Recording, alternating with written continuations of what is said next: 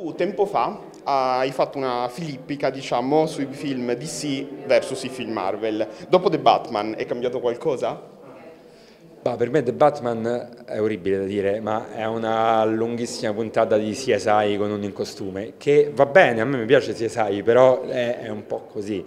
Quindi, però ci sono dei, dei in realtà Suicide Squad mia e anche la serie Peacemaker sono due cose su cui riconosco una superiorità del mondo di sì. A proposito di serie, eh, tu adesso sei anche un creatore di serie ma rimani un fruitore. Che tipo di spettatore sei? Da binge watching compulsivo o preferisci l'appuntamento settimanale, compri un cake latte?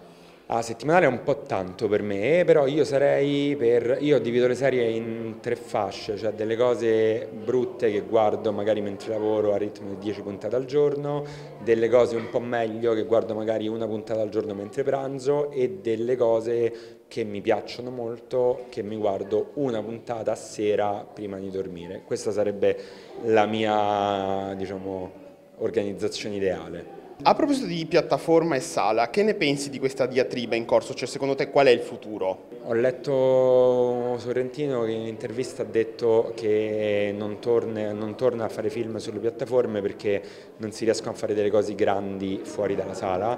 In realtà sono abbastanza d'accordo, nel senso che penso che l'esperienza della sala effettivamente trasforma un prodotto, cioè fa fare un salto di livello al prodotto quando si parla dei cinema. Poi per me le piattaforme, cioè io, io sono un guardatore di serie, quindi per me le piattaforme hanno un ruolo fondamentale nella mia esistenza, però i film io effettivamente se non li guardo in sala a casa mia fatico pure a tenere la concentrazione per tre ore. E a proposito di fruitori di serie, hai una serie recente che ti sei proprio fissato che consiglieresti a tutti e una tua serie del cuore? Beh, Scissione eh, è la serie che in questo momento mi ha proprio fatto esplodere il cervello e la mia serie del cuore, boh, forse The Shield, The Shield, The Wire e Lost. Secondo te l'animazione è il futuro perché permette paradossalmente di raccontare qualsiasi storia, qualsiasi tipo di storia? Sì, non so se è il futuro, però sicuramente è una cosa, ma io penso che in, in un sacco di posti è anche il presente già adesso in Italia sicuramente abbiamo faticato un pochetto di più a, a, fare animazione per adulti, principalmente perché chi ci metteva i soldi pensava che i soldi rientravano soltanto con l'animazione per bambini. Se questa roba si va scardinando pian piano, in parte l'ha fatto RAC nel tempo, in parte l'hanno fatto anche altri, secondo me è qualcosa che apre un sacco di scenari in più.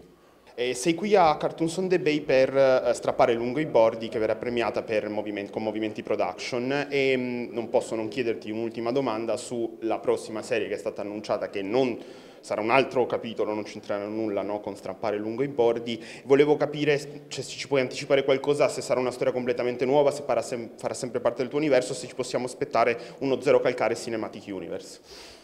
Allora, eh, sì, l'idea è di funzionare un po' come i libri, nel senso quindi che ogni storia sia una storia a sé, quindi l'universo è condiviso in qualche modo, però non è il seguito di, è proprio una cosa a parte avrà delle differenze pure formali, nel senso che ha un formato più lungo, più da serie classica, puntate più vicine alla mezz'ora che al quarto d'ora, eccetera. E, e, poi, boh, non lo so, per parlare di Cinematic Universe vorrebbe dire che sta roba va avanti pure dopo, magari invece questa è la debacle totale e quindi finisce là, non si può dire.